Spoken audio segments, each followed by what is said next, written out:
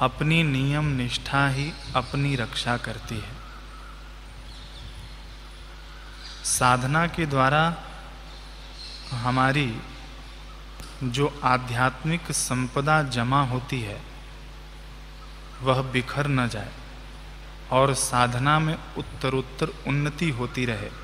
इसके लिए पूज्य बापू जी अपने साधकों को बार बार सावधान करते हैं। पूज्य श्री के सत्संग अमृत में आता है कि यह मनुष्य जीवन चौरासी लाख योनियों का अंतिम जन्म भी हो सकता है। अर्थात इसमें आप मुक्तात्मा भी हो सकते हैं और चौरासी लाख योनियों में ले जाने वाला कर्म बंधन भी बना सकते हैं। इसलिए बड़ी सावधानी से इस जन्म को संवारना चाहिए। अपना नियम कभी नहीं छोड़ना चाहिए।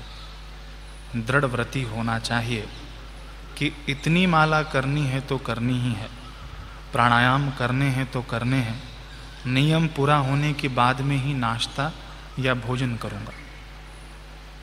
जरा जरा बात में नियम छोड़ दिया, जरा जरा बात में भजन छोड़ दिया, नहीं।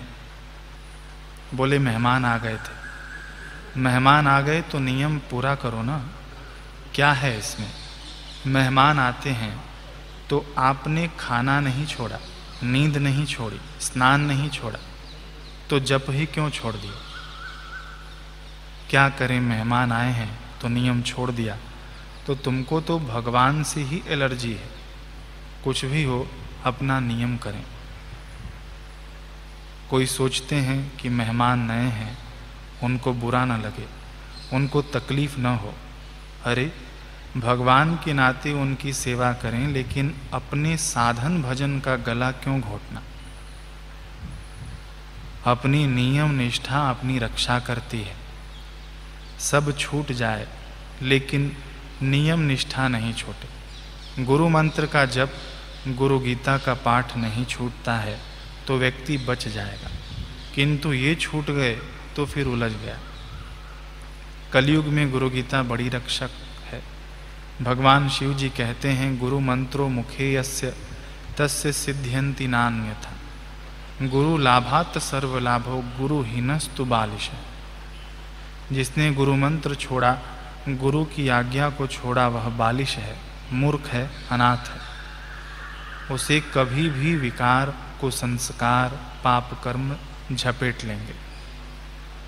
काहू न को सुख दुख कर दाता निज कृत कर्म भोग सब भ्राता समय बीता जा रहा है, काल दगा दे रहा है। बीता हुआ आयुष्य वापस नहीं मिलेगा, लेकिन यह नियम निष्ठा है तो काल दगा नहीं देगा। बीता हुआ समय हमको उन्नत करता जाएगा।